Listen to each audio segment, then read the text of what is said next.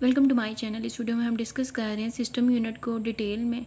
ये यहाँ पर है, नीचे भी मटेरियल है हमारे पास। फिर ये सिस्टम यूनिट ये होता है तो बहुत सारे जो लोग हैं वो सिस्टम यूनिट इसको नहीं बोलते, इसको बोलते हैं सीपीयू है। तो सीपीयू तो हम प्रोसेसर को बोलते हैं, वो ये होता है।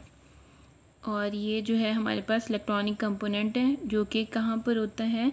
मदरबोर्ड के साथ जो है लिंक होता है।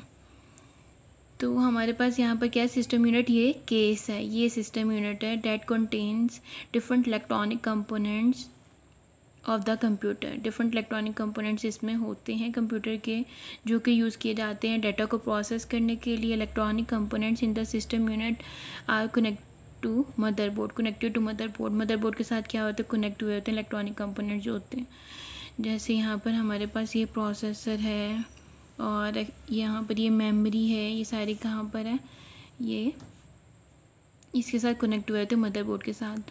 All computer systems have a system unit हर जो कंप्यूटर सिस्टम है उसको क्या रखता है वो सिस्टम यूनिट को? System unit is made up of plastic और metal to protect a components inside it system unit क्या बना होता है प्लास्टिक या मेटल का, जो कि प्रोटेक्ट करता है, जो उसमें कंपोनेंट्स होते हैं ना वो उनको क्या करता है प्रोटेक्ट करता है। System unit typically contains motherboard इसमें क्या होता है, हमारे पास सिस्टम यूनिट के अंदर ये सारा कुछ होता है, ये मदरबोर्ड है मदरबोर्ड के साथ ये इलेक्ट्रॉनिक कंपोनेंट जो है कनेक्ट हुए होते हैं।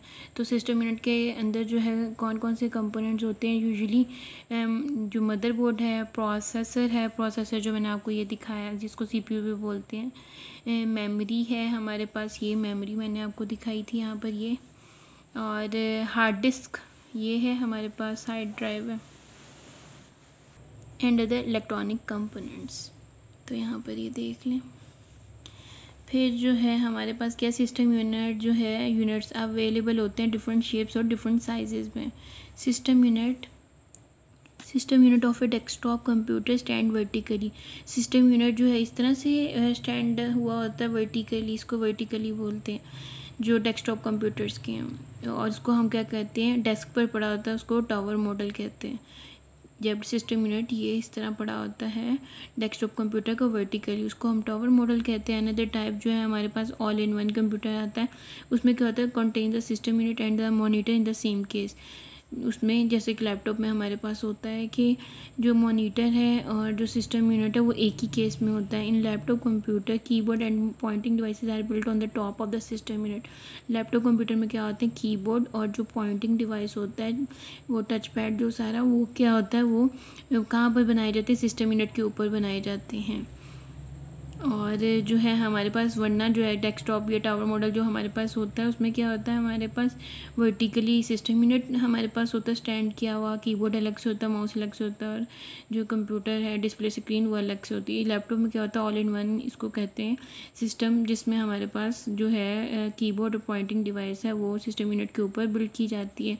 और जो है फिर सिस्टम यूनिट होता है नीचे, और जो है ऊपर हमारे पास स्क्रीन डिस्प्ले शो हो रही होती है। The system unit in slate tablet is behind the display screen display screen के बिहाइंड पीछे जो है हमारे पास टैबलेट्स में क्या होता है? सिस्टम यूनिट होता है।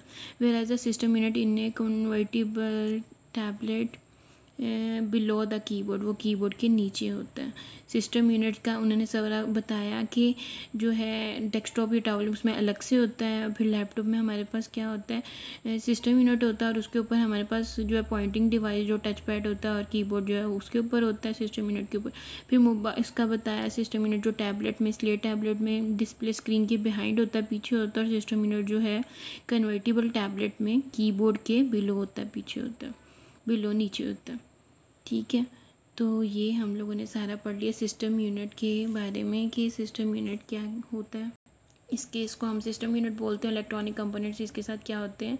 हमारे पास मदरबोर्ड के साथ कनेक्ट हुए होते हैं और वो सारे सिस्टम यूनिट के अंदर होते हैं। तो होप सो अच्छे से समझ आ गया होगा। वीडियो अच्छी लगे तो वीडियो को लाइक करें चैनल को सब्सक्राइब करें। Thanks for watching this video take care